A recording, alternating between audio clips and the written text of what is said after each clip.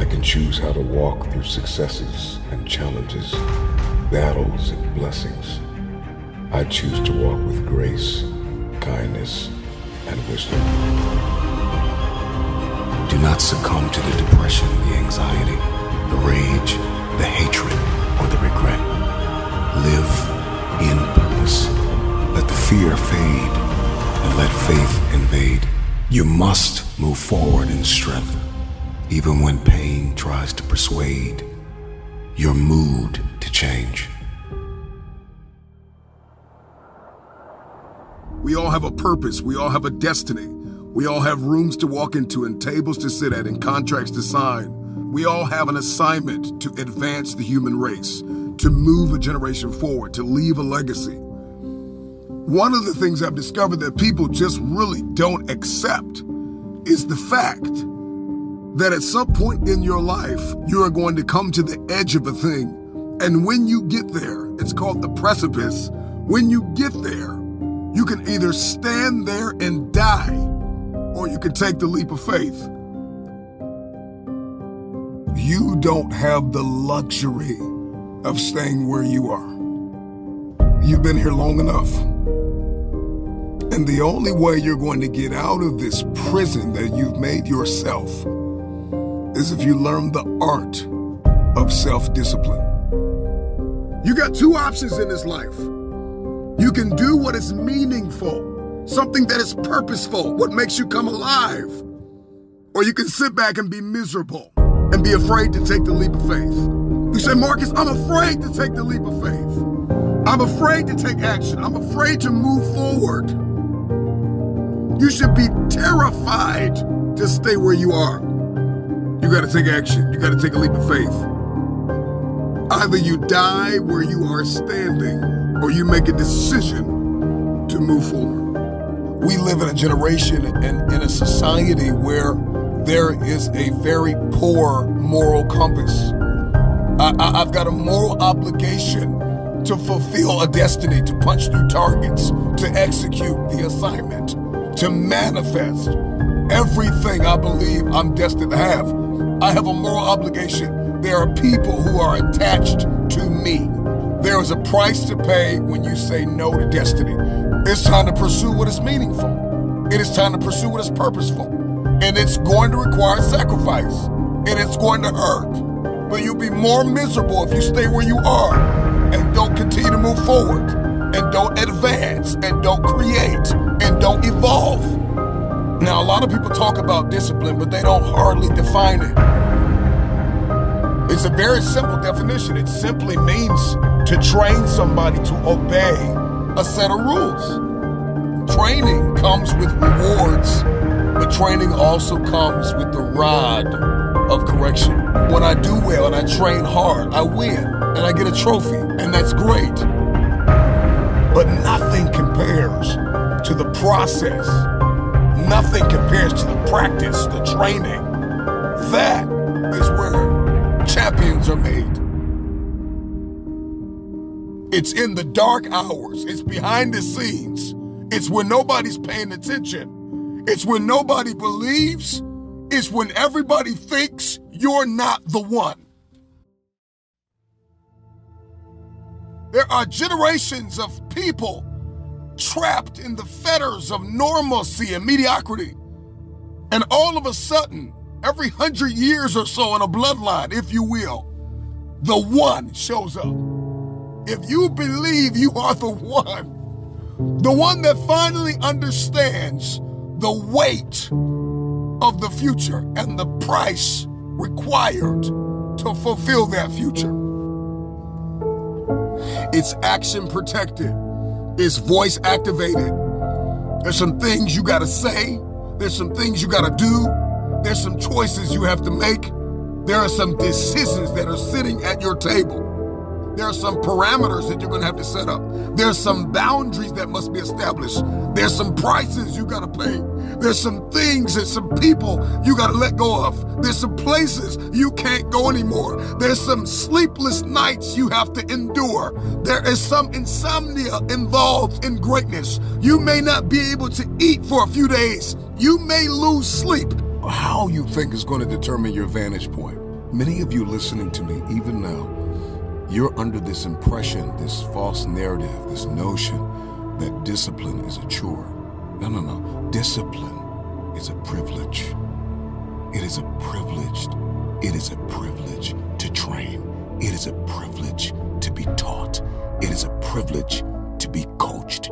It is a privilege to be programmed to win, to operate under a government of champions. It is a privilege. I need you to get it out of your mind that discipline and training is a chore. It is not a chore. It is the trait of a champion. If you are going to win, if you're going to accomplish it, I don't care what room you are called to, every arena that you step in, every field that you walk on, every court, every arena, every boardroom, every person, every place. Every stage of destiny requires another measure of discipline. Got places that I want to go right now. I got things that I've been called to do, people I know I got to meet. And this version of myself will not make it. I don't want to be a day late in realizing when I'm functioning in the outdated version of me. And this is when the frustration settles in and the anxiety and the trauma and the insomnia when we are not willing to accept the fact that this version of ourselves is no longer good enough to accomplish the things that we've been called to do. I realize, like, I gotta come up. Change is not coming to me, change is coming from me. I gotta become more disciplined. My communication has to change. My perspective has to shift. How in the world are you to walk into these new opportunities, meet new people, make connections, change the world to some degree, starting in your family, in your city? You got to see stages everywhere, and every stage requires another measure of discipline. Discipline is realizing that I don't need a resource, that I don't need a handout. I need a new skill set. I need a new mindset. I don't want a handout. I don't need a favor. I don't need you to believe in me. I don't need you to see me. I don't need you to like me. I don't need you to understand me. I understand me. I like me. I love me. I'm working on me. I'm training myself. I'm conditioning myself. You can love me, hate me, like me, fear me. It doesn't matter. I will fulfill my destiny. Many of you are just flat out captives to your desires. Your subconscious mind is running the show. Your body tells you what to do, where to go, what to eat, who to hang with. You keep living life sensually and not intentionally. You are not present. You are not engaged. You are not connected. This is a call. This is an invitation into a paradigm shift. It's your time. It's your turn. Everything's about to change. So one person sees the gym as a prison, and another person sees the gym as a passport. One man came within inches of losing his life, and another man has never come within a hundred miles of losing his life, and he only works out twice a month, and somebody else works out four or five times a week. The reason why you only do it once or twice a month is because you don't see the value. You don't see the value in it. Your viewpoint is either your advantage or your assassin. Your viewpoint will either get you going or get you killed. I don't care what it is that you're trying to achieve, what you're trying to accomplish, what you're trying to give, how you're trying to evolve, what you are looking to become. Everything rises and falls on your perspective. And so, if you don't start thinking right, you're not going to talk right. And if you're not talking right, you're not going to experience the world that you see in your head. I don't know who God has called you to become, but what I can tell you is if you keep seeing it the way you have seen it, you will never become it.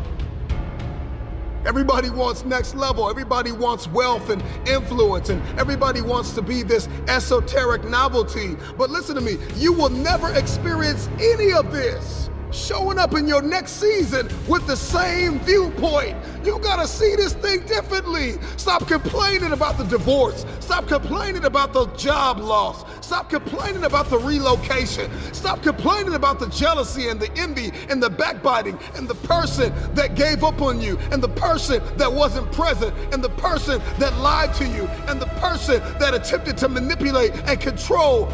We see a storm, we see rain, and we think depression.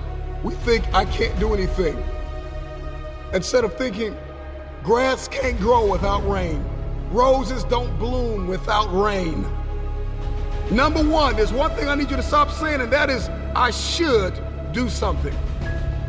That perspective, that viewpoint, that ideology, that philosophy, that mindset is gonna get you bankrupt. I should start this. I should stop that. I should forgive. I should.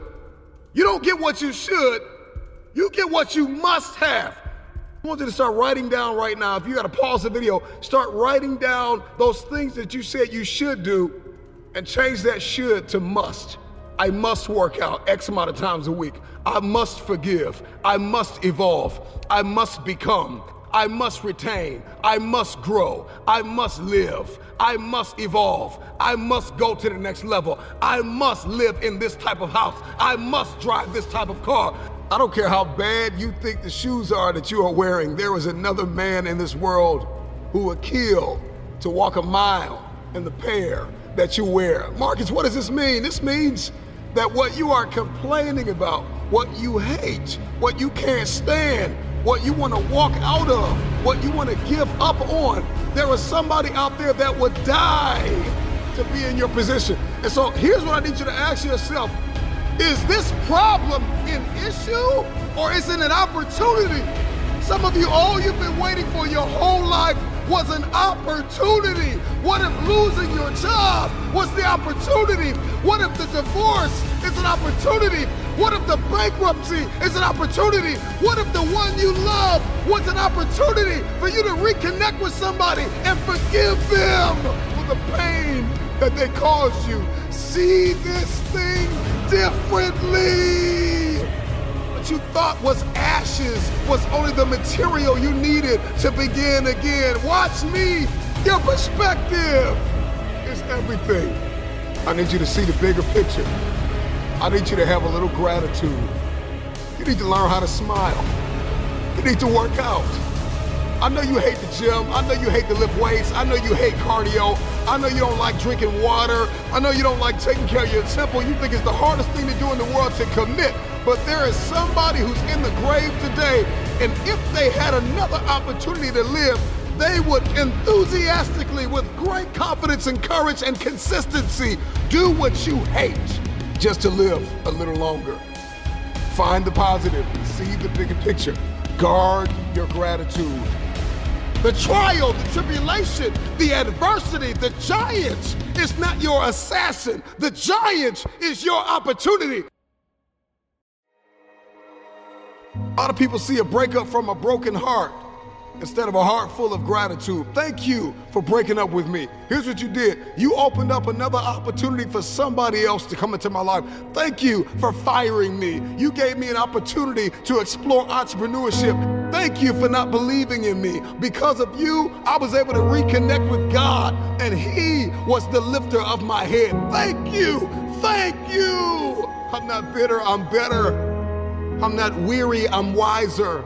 I'm not toxic, I'm triumphant. I see this thing differently.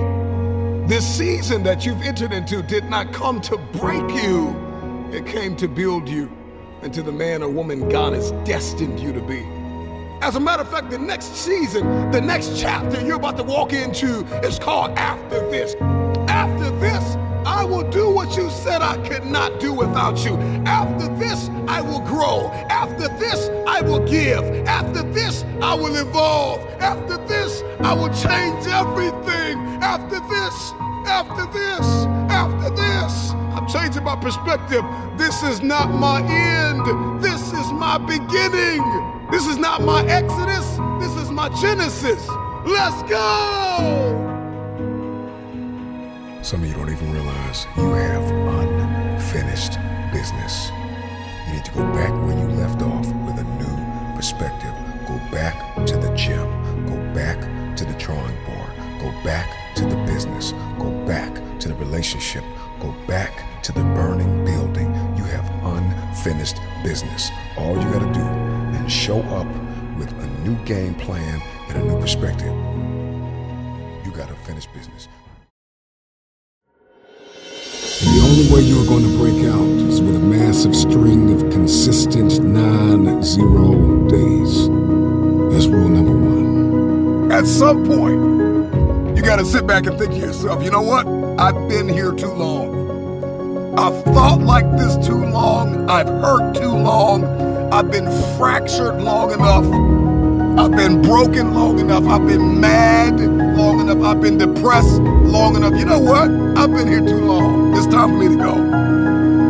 Rule number two that you are going to have to be grateful to the three U's. Call it mumbo jumbo if you want to. Newsflash, the three U's are the past you, the present you, and the future you. There's more left in that tank. Don't let anybody tell you you don't have what it takes. There is more left in your tank. Keep striving. We've got to get into this pace of grace where we are pacing ourselves and we're honoring our journey and we're honoring the people that have been planted in our lives. Let me tell you something you already know. There are enough people who have not believed in you. There are enough people who have walked away from you. There are enough people who told you you don't have what it takes, you don't measure up, you will not finish.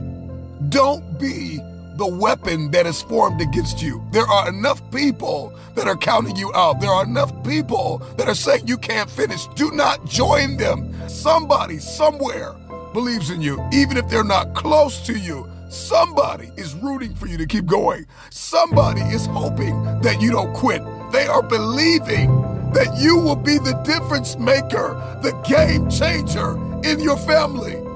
Rule number three you are going to have to forgive yourself. I mean it. Maybe you have all the know how, the money, the ability, strength, and talent to do whatever you want to do. But let's say you still don't do it. Now you're going to give yourself a tough time for not doing what you need to do. Pick your head up. Being disappointed in yourself causes you to be less productive. If you can forgive yourself, you can be healed from the past, equipped for the present, and cast vision for the future. It is in our nature to be very disempowering, pessimistic, negative people. Sometimes we just don't feel like moving forward. But I need you to know that there are people who are depending on you there are people that believe in you. There are people that are rooting for you and they are expecting you to win. I need you to wake up in this new day, in this moment, and seize the opportunity. You are alive for a reason. Remember this action and adaptability create opportunity. Adapt and overcome, and watch everything change before your eyes. So, adaptability is the quality, the gift, the ability to adapt to new circumstances. Adaptability is the capacity to be modified for a new purpose, to be moved this way and still punch through targets and reach my goals and be everything I've been called to be, but I've got to adapt to the times. Adaptability requires movement. Adaptability requires growth.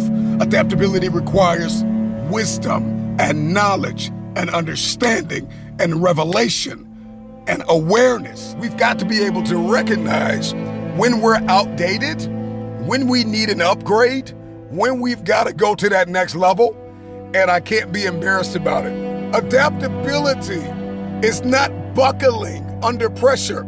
Adaptability is understanding that in order for me to have this lifestyle that I see in my head, I'm going to have to raise my standards. This is an adjustment. This is a modification that in times past this version of me was good enough, but it only got me where I am. And in order for me to go to that next level, something inside of me has to change. Rule number four is the easiest, and it's three words exercise and books. That's it. Pretty standard advice, but when you exercise daily, you actually get smarter. You get crystal clear about the road ahead. When you exercise, you position yourself to win the war. When you exercise and you push yourself, you will test the limitations of your soul, and you'll become crystal clear, both internally and externally, that all you have is all you need. Someday, at some point in your life, you're going to be able to look back and say, man, I'm so glad I didn't quit. And not only you, but somebody else is waiting to walk up to you in your near future and say, I was watching you the whole time. I saw when you wanted to quit, when you were almost ready to give up and throw in the towel. And I just want to thank you for not quitting. That one life, one life could touch the lives of millions. I need you to believe in this moment that you are safe, you are supported, people believe in you. Just stay determined that you have everything that you need to continue on marching forward. You are a phenomenal human being. You are worth the work. Your future is worth fighting for. So when you face storm, when you face adversity, when you face trial, when you face tribulation, in the eye of the storm, in the middle, in the core of your devastation, when you are faced with opposition, that's when you raise the heat. You don't change your message, you change your methodology. Are you understanding me? Adaptability is not buckling under pressure. Adaptability is not losing your moral compass. Adaptability is raising your voice.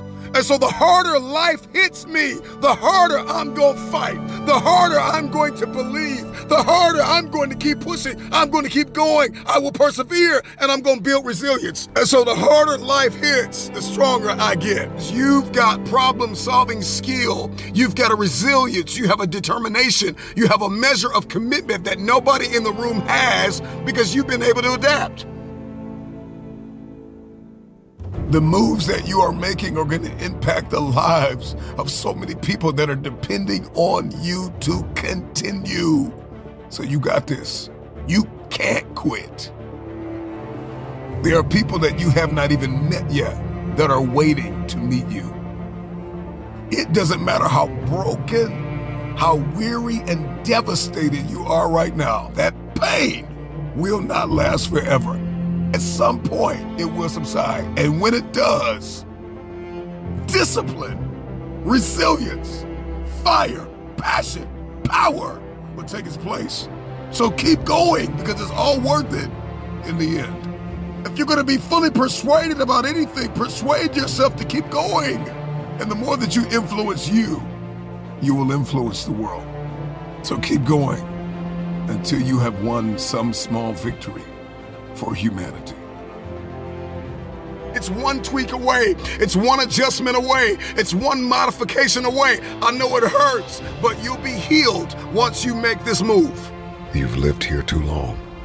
You've thought like this long enough.